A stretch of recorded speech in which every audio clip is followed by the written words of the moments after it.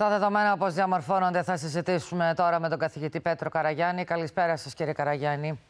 Καλησπέρα και σε εσάς, κυρία Κενεβέζο. Δύσκολα τα πράγματα. Ήταν σοκ, αν θέλετε, τα χθεσινά δεδομένα. Είναι γεγονός ότι εκεί που συνήθως οι Δευτέρες είναι εκείνες που μας δείχνουν υψηλότερα α, κρούσματα λόγω του Σαββατοκυριακού. Ε, αυτόν συνέβη και χθες που ήταν ε, και λίγο σοκαριστικό διότι υπήρξε μια άνοδος σχεδόν 300 κρουσμάτων μέσα σε έναν 24ωρο.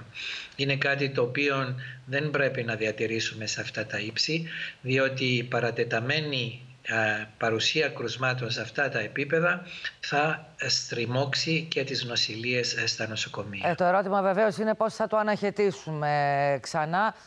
βρεθήκατε με την ε, κυβέρνηση, με το Υπουργείο Υγείας.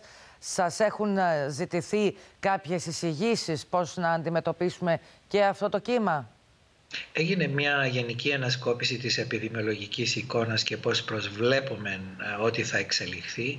Ε, ενημερωθήκαμε και για τις νοσηλίες και τις προετοιμασίες για περαιτέρω ασθενείς.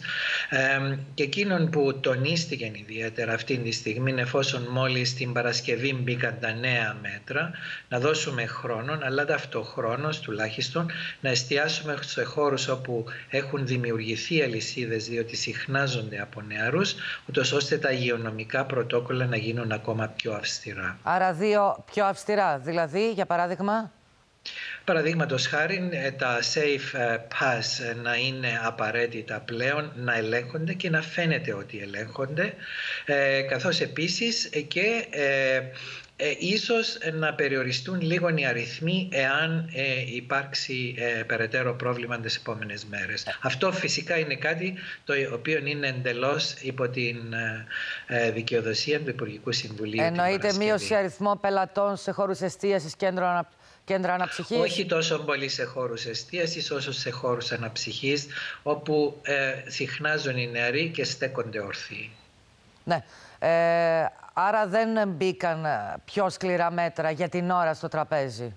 Δεν μας ζητήθηκε να εισηγηθούμε σκληρότερα μέτρα. Ναι.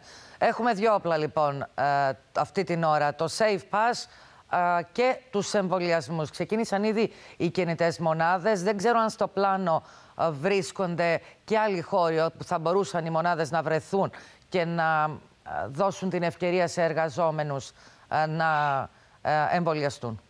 Ήδη προχωρούν οι εμβολιασμοί στον ξενοδοχειακό τομέα και θεωρώ ότι και υπόθηκε έτσι ότι θα ακολουθήσουν και άλλες δραστηριότητες, ίσως εργοστάσια, ίσως χώροι εστίασης ε, και ούτω καθεξής βιομηχανικές περιοχές. Θα σας διακόψω, βάρτε μια ανωτελεία. Μόλις έχουμε τα νέα επιδημιολογικά δεδομένα, από ό,τι μαθαίνουν ακόμη χειρότερα και από χθες, κύριε Καραγιάννη. Η Δήμητρα Μακρυγιάννη τηλεφωνικός μαζί μας. Καλησπέρα, Δήμητρα. Εμιλία, καλησπέρα. Κινούμαστε ήδη σε τετραψήφιους αριθμούς. 1120 κρούσματα για σήμερα βλέπουμε ότι αυξάνεται μέρα με τη μέρα. Αλλά πάμε πρώτα να δούμε τον θάνατο. Το νέο θύμα του κορονοϊού είναι γυναίκα ηλικίας 56 ετών που κατέληξε στο Γενικό Νοσοκομείο Λεμεσού. Επανερχόμαστε στα κρούσματα, 1120 όπως είπαμε, μέσα από 62.656 εργαστηριακές διαγνώσεις, ανεβάζοντας και το ποσοστό θετικότητας παγκύπριας στο 1,79%. Ε, άσχημη κατάσταση και στα δημόσια νοσηλευτήρια, καθώς βλέπουμε ότι ε, σήμερα είναι 165 οι ασθενείς, εκ των οποίων οι 40 είναι σε σοβαρή κατάσταση. Και στη μονάδα εντατικής θεραπείας του Γενικού Νοσοκομείου Λευκοσίας έχουμε 18 ασθενείς. Ε, πάμε να δούμε και τη θετικότητα αναεπαρχία. Έχουμε ε, στην ε, Λεμεσό 1,58%, 1,28% στην ε, Αμόχωστο, 1,34% στην ε, Λάρνακα, 1,3% στην ε, Λευκοσία και 0,95 ε, στην ε, Πάσο, Εμιλία. Σε ευχαριστώ Δημήτρα, σε χαιρετώ. Κύριε Καραγιάννη, ακούσατε.